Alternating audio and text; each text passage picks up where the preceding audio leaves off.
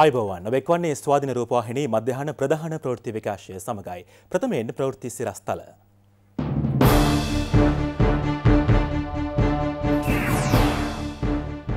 විස්සේ කෙටුම්පත පාර්ලිමේන්තුවට හෙට ඉදිරිපත් කරයිද. දරු පවුලකට ජීවිත අහිමි කළ බූවැලිකට ගොඩනැගිල්ලේ කඩාවැටීම තවමත් ප්‍රශ්නයක්. මන්තීරුව අමතක වුණොත් මතක් කරලා දෙන්න පොලිසියෙන් පන්ති. කුඩුවලින් රට කුඩු කරන්න දඟලන අයියා මලොත් පොලිස් කූඩුවේ. HSBC ලෝක හොරුන්ටත් අතහිතදු බව හෙළිවේ.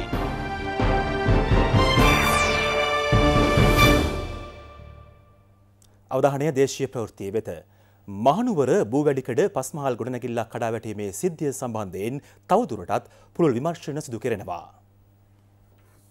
මෙම පස්මහල් ගොඩනැගිල්ල කඩා වැටීමෙන් ඊට යාපද හෝටලයක් සහිත නිවසක ජීවත් වූ අබුසම යුවලක් සහ ඔවුන්ගේ අතදරුවා ජවිතක්ෂයට පත් වනා.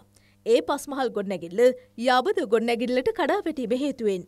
සුම්බුන් අතර සිරිවේ සිටි දෙදෙනෙකු බේරාගන්නු අතර තරුණ යුවල සහ අතදරුවා සිද්ධියෙන් මේ ගොස් තිබුණා. සුන්බුන් ඉවත් කිරීමේ කටයුතු අද දිනේද සිදු කෙරෙනවා. අදාළ පස්මහල් ගොඩනැගිල්ල කඩා වැටීමට හේතු සෙවීමට භූවිද්‍යාඥන් පරීක්ෂණ ආරම්භ කර තිබෙනවා. එය නිසි ප්‍රමිතියකට ඉදිකර නැද්ද යන්න හෝ අදාළ භූමිය එවැනි ඉදිකිරීමට සුදුසු නොවේද යන්න පිළිබඳ ඔවුන්ගේ අවධානය යොමු වනු ඇති. එසේ නම් ඒ සඳහා අවසර ලබාදුන් නිර්ධාරින් පිළිබඳවද පොලිසිය පරීක්ෂණ පවත්වන බවයි වාර්තා වන්නේ. මේ අතර ගොඩනැගිල්ලේ අයිතිකරුවන් සිද්ධිය ස්ථානයට අද පැමිණියා.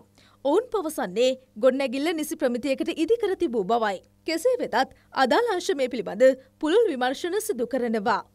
ඇඳිවත පමණ අපි අරගෙන පැන්න එලියට ඉතින් මෙහෙම අපිට අදු අබුත චෝදන එල්ල කර එක හරීම කනකාටුදායක සිද්ධියක්. එදා විච්ච සිද්ධිය පොඩක් අපිට කියන්න මේ ඔබතුමල්ල නිදාගත්තේ කීයටද? ඊට පස්සේ මොකක්ද මගේ දුව මේ පාර ඒ ලෙවල් කරනවා.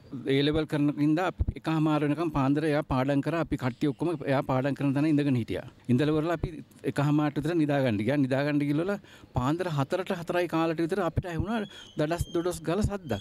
අල්ලපු ගෙදරින් අපිට කිව්වා ඒගොල්ලන් ටෝච් ගහගා හිටියා අපේ පැත්තට. පිටිපස්සේ ගෙදරින් එයා සමරසිංහ කියලා එයා එයා කිව්වා එකපාරටම මේ මිස්ලේව්ගේ ඔබතුමාගේ ඔබතුමයි ගේ පුපුරනවා කියලා. කියපු ගමන්ම අපි ටක් ගාලා එළියට එනකොට එළියට එන්න බෑ ගේ ඇතුළේ ටයිල් ඔක්කොම ඉස්සිලා. අපි එහෙම පැනලා පැනලා පාරට පැනලා පැනලා ඒ වැස්ස වැස්ස ගමන්ම අපි වාහනේට නැග්ගා. නැගලා කිලින්මම ආව ඉස්සරහා ගෙදරට.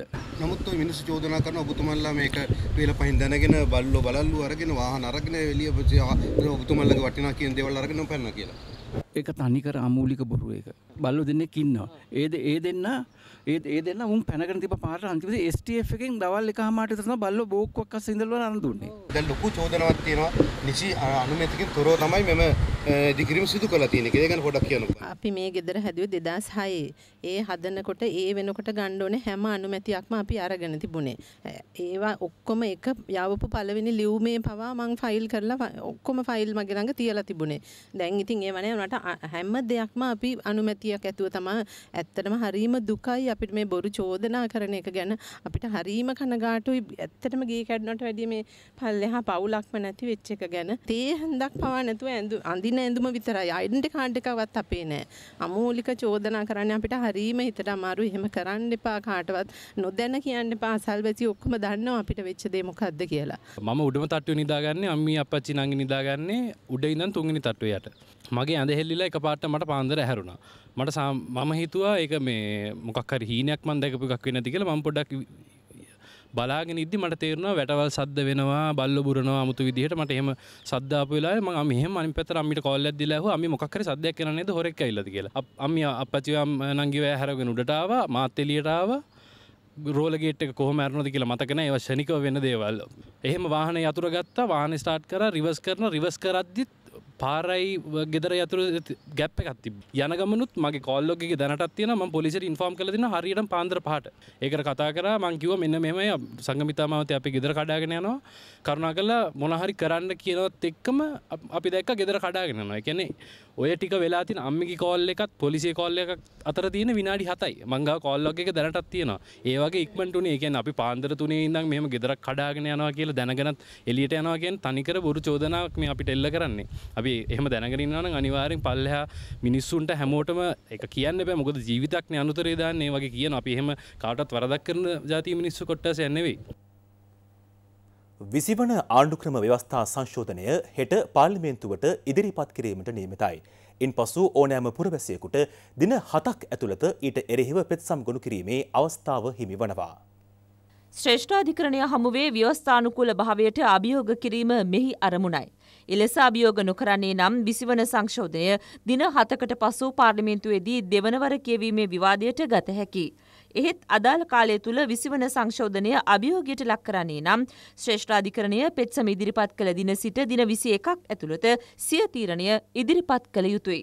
අදාළ කාලසීමාව තුළ පනත් කෙටුම්පත සම්බන්ධයෙන් කිසිදු ක්‍රියාමාර්ගයක් ගැනීමට පාර්ලිමේන්තුවට අයිතියක් හිමි නොවන බවයි පාර්ලිමේන්තු මහලෙකම් කාර්යාලය පවසන්නේ. දින විසි එකක් නොගෙන ශ්‍රේෂ්ඨාධිකරණය සිය තීරණය කලින් දිනක ලබා දෙන්නේ නම් ඉන් පසුව දෙවනවර කියවීමේ විවාදය සඳහා එය ගත හැකි. දෙවනවර කියවීමේ විවාදය අවසානයේ චන්ද විමසීමක් පැවැත්වෙනු ඇති.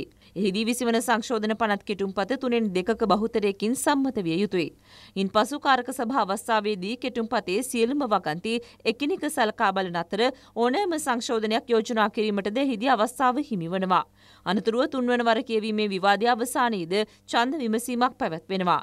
ඊටද පාර්ලිමේන්තුවේ තුනෙන් දෙකක බහුතර බලයක් හිමි විය යුතුයි. අවසාන වශයෙන් කතානායකවරයා පනතට අත්සන් තැබූ විටයි එය නීතියක් බවට පත්වන්නේ. මේ අතර විසිවන ව්‍යවස්ථා සංශෝධනය සම්බන්ධයෙන් පක්ෂ විපක්ෂ දේශපාලන නිරිතයන් මෙලෙස අදහස් පළ කළා. බැසිල් රාජපක්ෂ මහත්තයට පාර්ලිමේන්තුවෙන් ඕමනාවක් තියෙනවා නම් ඇමරිකානු පුරවැසිභාවය අයින් කරගෙන පාර්ලිමේන්තුවාට අපේ ප්‍රශ්නයක් නැහැ. හැබැයි එතුමා පෙන්වන්න හදනවා ඇමරිකන් පුරවැසිභාවය අයින් කරගන්නවට වඩා ලංකාවේ ව්‍යවස්ථාව වෙනස් කරන එක ලේසි කියලා. මේකෙන් මොකද්ද වෙන්නේ? ප්‍රභාකරන්ට යුද්ධෙන් කරන්න බැරි වෙච්ච දේ මේගොල්ලෝ ව්‍යවස්ථාවෙන් පාර්ලිමේන්තුවෙන් කරන්න අවශ්‍ය ඉඩකඩ හදා දෙනවා. මේ හැම සංශෝධනයකටම මහින්ද රාජපක්ෂ මැතිතුමා ජනාධිපතිතුමා ඇතුළු සියලුම දෙනා එකතු වෙලා ගන්න. ඒ වගේම මේක తాවකාලිකව ගෙනාපු සංශෝධනයක් පමණයි. මේ තුලින් අපි බලාපොරොත්තු වෙන්නේ 19 වෙනි සංශෝධනයෙන් ඉවත් වෙනවා කියලා අපි පොරොන්දුවක් ලබා හැබැයි රටට ඔබින විදියට අලුත්ම ව්‍යවස්ථාවක් අපි ඊළඟට කඩිනමින් ගේන්න බලාපොරොත්තු වෙනවා ඒ සඳහා පාර හදා ගැනීමක් ඒ වගේම 19 වෙනි සංශෝධනයේ තියෙන ව්‍යාකූල තත්වයෙන් ඈත්වීමක් තමයි අපි මේ සිදු කරන්නේ. අවජාතක වෙන්න විදියක් නෑ. ජනාධිපතිතුමා සහ කැබිනට් මණ්ඩලයේ වගකීම බාර අරගෙන තිනවා. 20 වන සංශෝධනය කෙසේ වෙතත් 19 වන සංශෝධනය අහෝසි කරන්න තමයි ජනතාව ජනවරමක් දුන්නේ. ඒ නිසා රජයට වගකීමක් තියෙනවා. 19 වන සංශෝධනයේ තියෙන රටට ජනතාවට නොගැලපෙන සංවර්ධනය අඩාල කරන කාරණා ඉවත් කිරීම සඳහා කටයුතු කරන්න. ව්‍යවස්ථා සංශෝධනයක් කරනවා නම් මේ රටේ ජනතාවගේ මතවාදයක් හදන්න ඕන. රටවටා යන්නට ඕන. ඒ රටවටා ගිහිල්ලා ලාල් විජේනායක කමිටුවක් මගින් හදපු සියලු තොරතුරු අපි ළඟ තිබෙනවා. පාර්ලිමේන්තුවේ සභාගත කරලා තිනවා. අනු කමිටු වාර්තා තිබෙනවා. ඒ එකක්වත් ගන්න නැතුව එක්කෙනෙකුට දෙන්නෙකුට ඕන විදියට වැඩ පිළිවෙලකට අද සූදානම් වෙන අවස්ථාවක්. ඒ නිසා මේක සම්පූර්ණයෙන් පරාජයට පත් කරන්න අපි සමගි ජන බලවේගයේ සජිත් ප්‍රේමදාස මැතිතුමා සමග මේ ගමන ලෑස්ති කරලා තිබෙන්නේ. සජිත් ප්‍රේමදාස මහත්තයා පෞද්ගලික කාලේ ඉඩම් බෙදපු විදිහ අපි දැක්කනේ. ඒ විදිහටම තමයි තමන්ගේ පක්ෂය හසුරවන්නේ. විනයක් නැහැ, වැඩ පිළිලක් නැහැ, සැලැස්මක් නැහැ. එයා උදේ නැගිටලා යාට හිතෙන තැන් වල කියලා සුද්ධ කරලා ඉඩම් බෙදුවේ. ඒ වගේ තමයි උදේ නැගිටලා කල්පනා කරලා විපක්ෂය හසුරවනවා. ඉතින් ඒ හින්දා සජිත් ප්‍රේමදාස මහත්තයා උසාවිය යන එක හොඳයි. එතුමාට උසාවිය යන්න කියන්නේ. එතුමාට උසාවියට ගිහලා තමන්ගේ කරුණු කාරණා ඉදිරිපත් කරන්න කියන්නේ මේ හන්දි ගානේ කියවන්නේ නැතුව. 19 වෙනි ආණ්ඩුක්‍රම ව්‍යවස්ථාව ගේනකොට අනුර කුමාරලා ඒ කට්ටිය හිටියේ ඒ පිළේ. පහුගිය අවුරුදු 5ට ආණ්ඩුව ගෙනාවේ මොන පනතටද මේගොල්ලෝ විරුද්ධ වුනේ කියලා ඒකට විරුද්ධ වුනේ නැහැ. හැම එකටම පක්ෂයිග්‍රාහී වුණා. මේ රටේ පළස් සභාව අද තියන්න බැරි තත්ත්වයට ආපු වෙලේ ජනතා විමුක්ති පෙරමුණ අතීස්සුවා. තුනෙන් දෙකක් නැති වෙච්ච වෙලේ එදා එක්සත් ජාතික පක්ෂ යහපාලන ආණ්ඩුවට. ඒක නිසා මේගොල්ලෝ එවෙලේ අප්පා බොහොම හොඳට කතා කරපු අය දැන් තමයි මේ කියන්නේ අපි මොකක් හරි ගේනකොට විරුද්ධ වෙන්න කියලා. මේ රටේ 39 දෙනෙක් පාර්ලිමේන්තු මන්ත්‍රීවරු හිටපු පක්ෂයක් තුන් දෙනෙකුට අඩු කරා මේ රටේ ජනතාව 2025 ඡන්දෙදී එක්කෙනෙක්වත් නැති වෙනවා. මන්තීරු නීතිය කඩ කරන රියදුරන් කැඳවා දැනුවත් කිරීමේ වැඩසටහන අද සිට ක්‍රියාත්මකයි.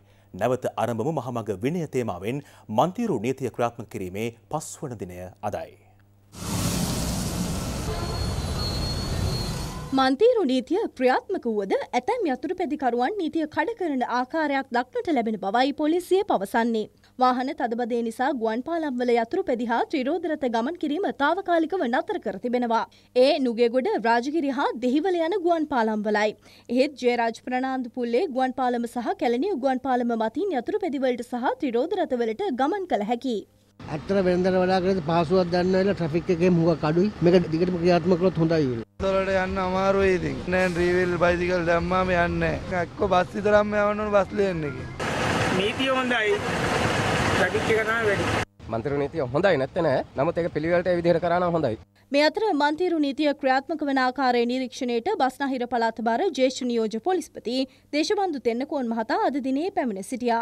නීති කඩ කරන්නන් වීඩියෝ ගත කර ඔවුන් නැවත කැඳවා තමන් කළ වැරද්ද සියසින්ම දකබලා ගැනීමේ අවස්ථාව සලසන බවයි නියෝජ්‍ය පොලිස්පතිවරයා සඳහන් කළේ. එසේ වැරදි කරන අයට එරෙහිව දඩමුදල් අය කිරීමට සහ නඩු පැවරීමටද කටයුතු කරනවා. අදවසේදී මාර්ගයේ විශාල වශයෙන්ම මහජනතාව ස්වයංව මන්තීරු නීතිය පිළිපදමින් ගමන් කරන ආකාරය දකින්න ලැබෙනවා. විශාල නිලධාරී කණ්ඩායමක් යොදවලා තිනවා මාර්ගයේ තවදුරටත් මන්තීරු නීති කඩ කරමින් ඉතුමනාපෙට මාර්ගය පුරා ගමන් කරන අයව ඡායාරූපගත කරන්න බලාපොරොත්තු වෙනවා මේ සතිය තුල. ඉරු විනය උල්ලංඝනය කරන අයව සතියන්තයේදී කැඳවන්න උපදෙස් පන්තියකට. එහිදී ඔවුන් විසින් කරන ලද මන්තීරු කඩ කිරීම ඔවුන්ටම සියසින් දකබලා ගැනීමට හැකි වෙන ආකාරයට අපි රූපරාම තුලින් පෙන්වන්න සූදානම් කරලා තියෙනවා. ගජමුදල් ඇසීමට හෝ නඩු පැවරීමට වැඩිය ප්‍රමුඛතාවය දෙන්නේ පුහුණුවක් ඇති කරලා ඉවරලා මාර්ග විනය රැක ගැනීම සඳහා සහයෝගය ලබා ගන්න. හුංගමුව ප්‍රදේශයේ නිවසක් වටලා නීති විරෝධී ගිනි අවි පහක් සමග සැකකරුවෙකු අතරංගොට ගැනීමට පොලිසිය සමත් වුණා. හුංගම කට්ටඩු ප්‍රදේශයේ ආය දහනමය ගම්මානයේ නිවසක් වැටලීමේදී මෙම ගිනිියවි සොයා ගැනුණා. ඒවා අතරගුවට ගන්න අවස්ථාවේ සියලු ගිනිියවි වැඩි බෙහෙත් පුරවා සූදානම් කර තිබූ බව පොලිසිය පවසනවා. සැකකරු මීට පෙරද නීති විරෝධී ගිනිියවි ළඟතබාගෙන අධිකරණය මගින් දනුවම් ලැබූ පුද්ගලයෙකු බවයි තංගල්ල කොටාස අපරාධ විමර්ශනාංශයේ ස්ථානාධිපති පොලිස් පරීක්ෂක නන්දසිරි ගමගේ මහතා පවසන්නේ. නීති විරෝධී ගිනියමි සමග සැකකරුවන් පස්දනෙකු අත්අඩංගුවට ගැනුණා. ඒ අක්කලමුල්ල පොලිසිය මගින්. සැකකරුවන් අවුරුදු විසි පහත් හතලිහත් අතර වයසේ පසුවන අය බවයි පොලිසිය පවසන්නේ. ඔවුන් යක්කලමුල්ල හා අවට ප්‍රදේශවල පදිංචිකරුවන්. දඹුල්ල ආර්ථික මධ්‍යස්ථානයේ වෙළඳ සැලක සේවය කරන එකම පවුලේ සොහයුරන් දෙදෙනෙකු අත්අඩංගුවට ගැනුණේ අයිස් නැමැති මද්‍රව්‍ය සහ කේරළ ගංජා අලෙවි කිරීමේ චෝදනාවක් මතයි. එක් සැකකරුවෙකුගේ නිවසේ තිබී පැකට් කරන ලද මද්‍රව්‍ය ග්‍රෑම් තුනහමාරක් සහ උපකරණ කිහිපයක් අත්අඩංගුවට ගෙන තිබෙනවා. සියාමි සහ වාසින් යනුවෙන් හඳුන්වන මෙම සොහයුරන් දෙදෙනාට අලෙවි කිරීම සඳහා මද්‍රව්‍ය ලබා දෙන බව කියන ඔවුන්ගේ තවත් සොහයුරෙකු අත්අඩංගුවට ගැනීමට පොලිසිය පරීක්ෂණ පවත්වනවා. සැකකරුවන් රඳවා ගැනීමේ නියෝග මත රඳවාගෙන ප්‍රශ්න කරන බවයි ගලෙවෙල පොලිසිය පවසන්නේ. හෙරොයින් ග්‍රෑම් හයයි මිලිග්‍රෑම් පණහක් සමග සැකකරුවෙකු මාලබේ අරංගල ප්‍රදේශයේදී අත්තරංගුවට ගෙන තිබෙනවා. අතුරුගිරිය පොලිසිය මෙසේ අත්තරංගුවට ගෙන ඇත්තේ හෙරොයින් බෙදාහරින පුද්ගලයෙකුයි. බන්ධනාගාරගතව සිටින පුද්ගලයෙකුගේ උපදෙස් මත මත්කුඩු බෙදාහැරීම සිදු කරන බවයි සැකකරු පවසා ඇත්තේ. මුලතිව් වෙල්ලමුල්ලි වයිකාල් ප්‍රදේශයේ ඉඩමක තිබී සොයාගත් කිලෝග්‍රෑම් පහලවක් බර පීඩන බෝම්බ තුනක් සමග පුපරණ ද්‍රව්‍ය තොගයක් විනාශ කෙරුණා. LTT සංවිධානයට අයත් බංකරයක් වැනි ස්ථානයක තිබී සොයාගත් මෙම බෝම්බ සහ පුපරණ ද්‍රව්‍ය නිෂ්ක්‍රිය කිරීමටයි කටයුතු කෙරුණේ. මිලිමිටර් රසුවේ මෝටාරුන්ඩ හතක් ඩෙටනේටර් සහ බෝම්බ පිපිරිවීමට යොදාගන්නා ෆියස් විශාල ප්‍රමාණයක් එහි තිබී සොයාගෙන තිබෙනවා. මුලතිව් අධිකරණයේ නියෝග මත පොලිස් විශේෂකාරය බලකා බෝම්බ නිෂ්ක්‍රියාංශය මගින් මෙම පුපුරණ ද්‍රව්‍ය පුපුරවා හරිනු ලැබුවා. දිවයිනේ බොහෝ ස්ථානවලට අදත් තද වැසි ඇතිවිය හැකි බව කාල්ගුණ විද්‍යා දෙපාර්තමේන්තුව පවසනවා.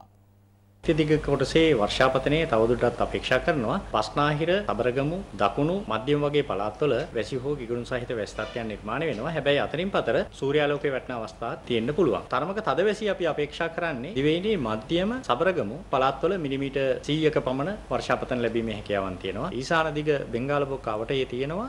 අඩු පීඩන කලාප තවදුරටත් අපි දීවර හා නායක ප්‍රජාවට කියනවා. මෙම දියම මුහුද රළු වීමේ හැකියාව සහ වර්ෂාපතනයේ තියෙන හින්දා එම මුහුදු සීමාව දක්වා දීවරහ නායක කටයුතු වල යෙදෙන්න එපා කියන ඉල්ලීම අපි ප්‍රකාශ කරනවා. හෙට සහ අනිද්දා දිනද ගත්තම ප්‍රමාණාත්මකව අඩුවීමක් තමයි අපේක්ෂා කරන්නේ. නැවත පොඩි වැඩිවීම අපි අපේක්ෂා කරනවා 24 25 යන දිනයන් දෙක තුල. වනසතුන් සහ මිනිසුන් අතර නිරන්තරයෙන් ඇතිවන ගැටුම් නිසා මිලකල නොහැකි ජීවිත රැසක් දැනටමත් අහිමි වී අවසන්. මෙම ගැටුම් පාලනය කිරීමට විවිධ අවස්ථාවලදී පිළියම් පිදුවත් එක් කිසිවකින් වඩාත් සාර්ථක ප්‍රතිඵල අත්වී නැහැ. වනජීවින් හා මිනිසුන් අතර ඇතිවන ගැටුම් පාලනයට දේශීය නවනිර්මාණ හරහා විසඳුම් සැවීමට උත්සාහ කළේ වටිනා ජීවිත හා දේපොළ තවදුරටත් විනාශ විය යුතු නැති නිසයි. ඒ අනුව ස්වාධන රූපවාහිනී මාධ්‍ය ජාලය නවනිපයුම් කොමිසම හා එක්ව නව වැඩපිළිවෙලක් ආරම්භ කළා. නිපුණතා සංවර්ධන, වෘත්තීය අධ්‍යාපන, පර්යේෂණ සහ නවනිපයුම් රාජ්‍ය අමාත්‍යංශය මෙන්ම වනජීවි දෙපාර්තමේන්තුවද මෙම වැඩපිළිවෙල සමග අත්වැල් බැඳගෙන අවසන්. එමෙන්ම වනජීවී රැකවරණය, අලිවැට සහ අගල් ඉදිකිරීම් ඇතුළු ආරක්ෂිත වැඩපිළිවෙළල් සහ කැලෑ නැවත වගා කිරීම සහ වන සම්පත් සංවර්ධන රාජ්‍ය අමාත්‍යංශයද මේ සමග එක්ව සිටිනවා. වැඩපිළිවෙලේ දෙවන අධිර ලෙස තෝරාගත් නවන පැවුම් හතක් උඩවලවේදී අතදා බැලීමට කටයුතු කෙරුණා. අලිමිනිස් ගැටුම පාලනයට ඉදිරිපත් වූ මෙම නව නිර්මාණවල සාර්ථකත්වය මෙහිදී අධ්‍යයනය කෙරුණා. මාස දෙකක් පුරා මෙම අධ්‍යනය සිදු කෙරෙනවා. මෙහි තුන්වන පියවර ලෙස කරුවල ගස්ටව ප්‍රදේශයේදී නව නිර්මාණ අත්හදා බැලීමට නියමිතයි. නව නිර්මාණ තුළින් ගැටලුවලට සාර්ථක විසඳුම් සොයා යන මේ ගමන පිළිබඳ විස්තර ඇතුළත් එක මගේ රට වැඩසටහන අද පස්වරු තුනයි තිහට ස්වාධීන රූපවාහිනිය ඔස්සේ විකාශය කිරීමට නියමිතයි. දෙපසට බෙදා වෙන් කළ හෘදයාංගම සබඳතාවයක බිඳී කිය තැන් පිළිසකර කෙරෙන සිහිනයක් නොවූ සිහිනය. අයිටන් එකයි ශ්‍රී ලංකා නවනිකම් කරුන්ගේ කොමිසමයි සැබෑ කරගන්න ඕන වෙච්ච නිදි නොකරපු සිහිනයක අංකුර තමයි අපි මේ දකින්න. සඳුදා සවස තුනයි තිහට එක මගේ රට. එසමගින් ස්වාධන රූපවාහිනී මධ්‍යහන ප්‍රධාන ප්‍රෘති විකාශයදට අවසන් සුබදවසක් ඔබට.